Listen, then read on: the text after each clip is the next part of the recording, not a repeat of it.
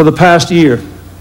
Even in the final weeks of his life, he gave me his wise counsel, especially with regard to Russia.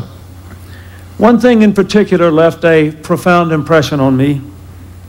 Though this man was in his ninth decade, he had an incredibly sharp and vigorous and rigorous mind. As a public man, he always seemed to believe the greatest sin was remaining passive in the face of challenges, and he never stopped living by that creed. He gave of himself with intelligence and energy and devotion to duty, and his entire country owes him a debt of gratitude for that service. Oh, yes, he knew great controversy amid defeat as well as victory. He made mistakes, and they, like his accomplishments, are part of his life and record. But the enduring lesson of Richard Nixon is that he never gave up being part of the action and passion of his times. He said many times that unless a person has a goal, a new mountain to climb, his spirit will die. Well, based on our last phone conversation and the letter he wrote me just a month ago, I can say that his spirit was very much alive to the very end.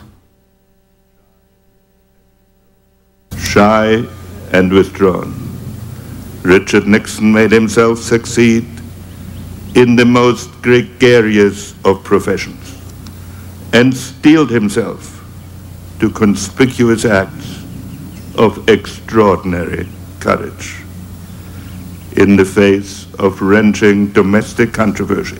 controversy he held fast to his basic theme that the greatest free nation in the world had a duty to lead and no right to abdicate.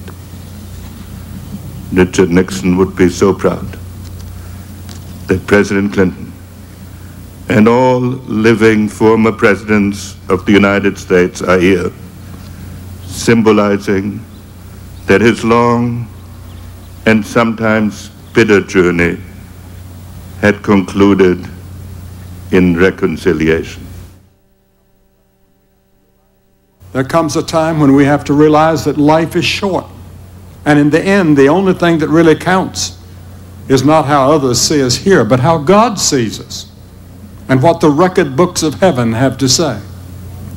For the Bible, who, for the believer who has been to the cross, Death is no frightful leap into the dark, but is an entrance into a glorious new life.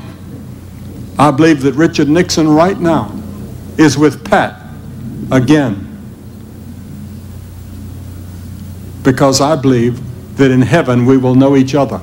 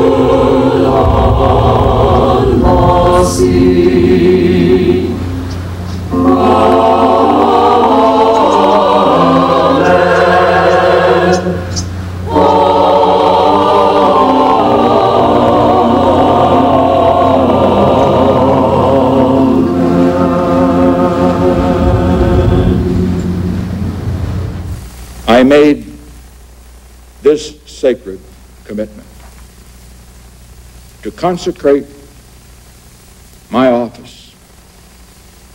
energies, and all the wisdom I can summon to the cause of peace among nations. I've done my very best in all the days since to be true to that pledge. As a result of these efforts, I am confident that the world is a safer place today, not only for the people of America, but for the people of all nations. And that all of our children have a better chance than before of living in peace rather than dying in war. This, more than anything, is what I hoped to achieve when I sought the presidency. This, more than anything, is what I hope will be my legacy to you, to our country, as I leave the presidency. Watergate will always stay there. That's, uh, that's the dark side of the uh, Nixon uh, career, and that remains, and uh, we'll always mention that when the subject of Nixon and his place in history comes up. He can't entirely live that down. I think the reason that that has begun to fade and the, the foreign policy achievements emerge larger is that he spent the last 20 years concentrating on foreign policy. He seldom ever refers to Watergate. It's a, it's, he probably, more than any other human being, regretted that chapter in his life. I